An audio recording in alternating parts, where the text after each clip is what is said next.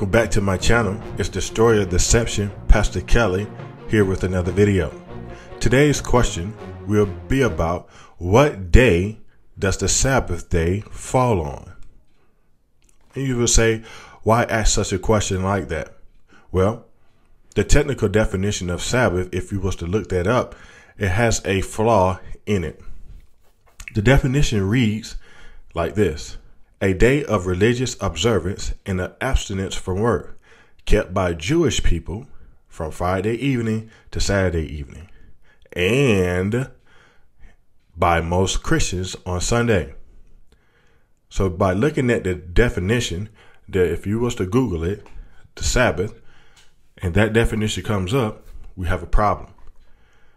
They're saying that the Jews celebrate the Sabbath from Friday evening to Saturday evening.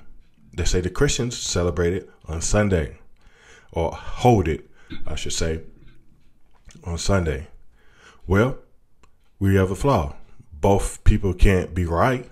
It's either or. So let's see what the Word of God says about what day the Sabbath is on.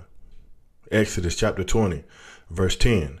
And it reads, But the seventh day is the Sabbath of the Lord thy God.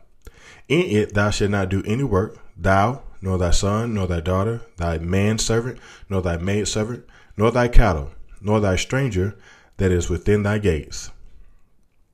This is the Sabbath of the Lord. Therefore, we begin to see that the Sabbath is on the seventh day. So, only thing we need to do is just identify then what is the seventh day. Is it Saturday or Sunday. When you look at any calendar, you would notice that you that the first day of the week is Sunday and the last day of the week is Saturday. In between from Sunday to Saturday is a full 7 days and therefore as we count from Sunday all the way to Saturday the seventh day is on that Saturday. That is the that is the Sabbath of the Lord.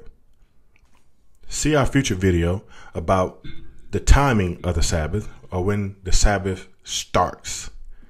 Alrighty? Like the video. Definitely tell me uh, in the comments below what you think of the video. If you have any questions, leave that in the comments as, as well. I'll do my best to reply.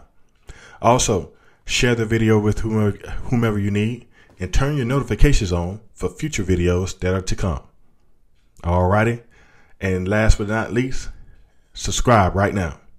Go and subscribe right now. It's Destroyer Deception, Pastor Kelly, and I'm out.